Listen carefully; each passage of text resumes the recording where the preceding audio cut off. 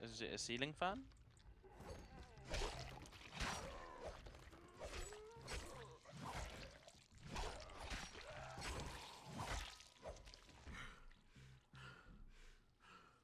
I think I solved the problem.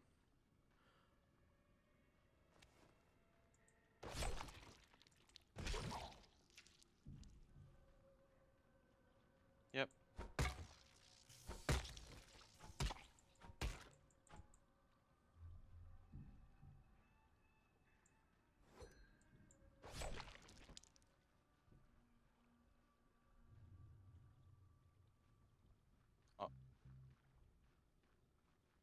I'll tell you. Yeah, the blood came off it.